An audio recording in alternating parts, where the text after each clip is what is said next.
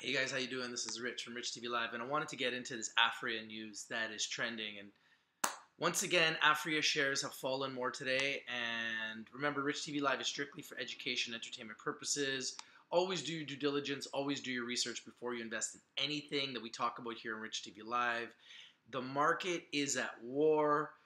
Donald Trump put out a tweet saying that. Uh, you know, anybody that messes with America, we're going to put tariffs on them, and the Dow Jones plummets.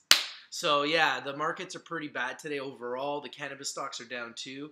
The only cannabis stock that's green right now is Cronos Group on talks that they are in the process of putting together a deal potentially being acquired by Altria. And when you look at APHA, Aphria, and we look at the New York Stock Exchange price, you can see that it's currently down 21%. It is like fallen off a cliff. We're going to mark this, okay, so we can really identify what's going on here. We're going to mark it here, and we're going to mark it here. We're going to mark it here. We're going to remember this day at $4.74. Let's mark it right around there. Let's mark it right there. So it's at $4.75 literally on September the 10th. It was at $16.73. So literally more than 300% higher than today's price just a couple months ago.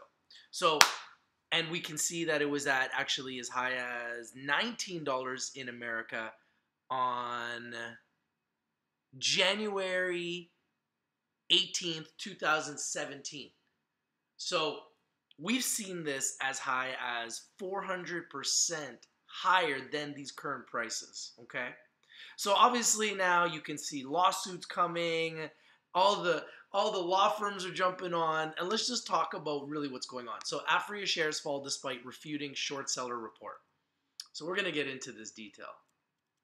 So now Aphria Inc., APH in Canada, and APHA in America, the New York Stock Exchange says it stands behind its Latin American operations after shares were hammered in the wake of short sellers report that raised questions about the company's acquisitions in the region.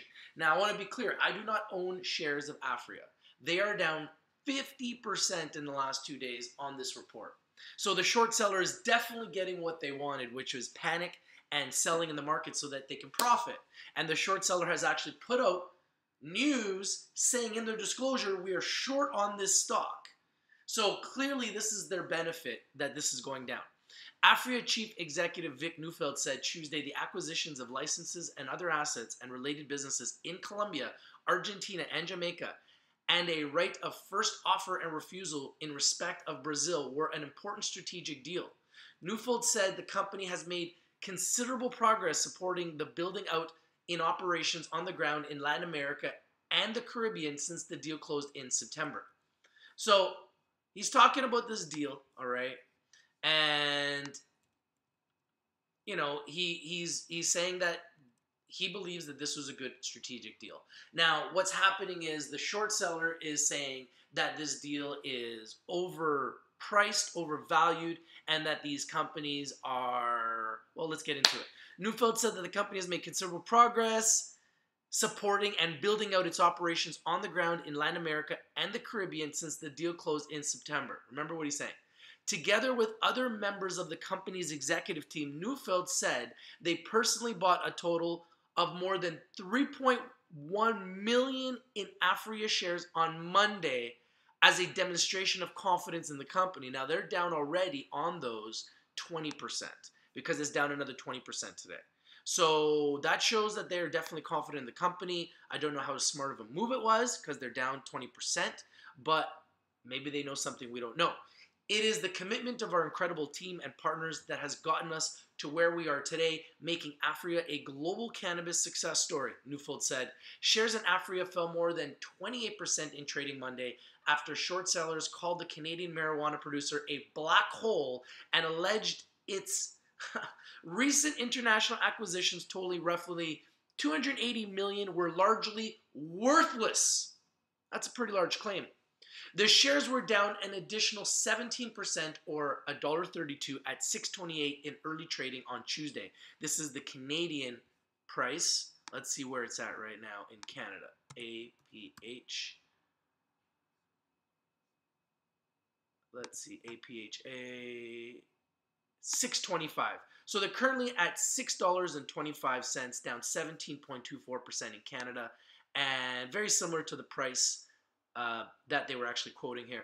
Quintessential Capital Management and Hindenburg Research, which are short on Aphria. Remember, they are short. It is in their best interest for this stock to go down. That is why they've worked so hard to bring all this news to the public. Alleged the company acquired foreign companies in countries including Jamaica, Argentina, and Colombia at vastly inflated prices and in ways that it believes benefited a group of insiders. This is what they are alleging, okay? This has not been proven. Aphria, one of the largest Canadian cannabis companies by market capitalization, has called the short sellers' allegations false and defamatory. So they've now come out and said that these are false and defamatory claims, and this is fake news. Let's hear what Hindenburg on Aphria's Jamaica deals focus made on 145 million acquisitions of Marigold. Marigold's official registered office is in an abandoned building. So they are claiming that the official office is in an abandoned building. It is also saying that it only has conditional licenses and is awaiting full approval. And is also saying it has a plot of raw land and is not approved to grow cannabis. Let's hear what Aphria's response is to the short seller report. Aphria is responding by saying, unequivocally, standing behind its Latin operations, saying acquisitions negotiated at arm's length between two COOs, Aphria and SOL Global, not sister companies. So they're refuting these claims and saying that what they are saying is not correct. Aphria and SOL Global are not sister companies, which has been alleged. Acquisitions negotiate, negotiated at arm's length between the two COs, and they have received financial advice and a fairness opinion from Cormark.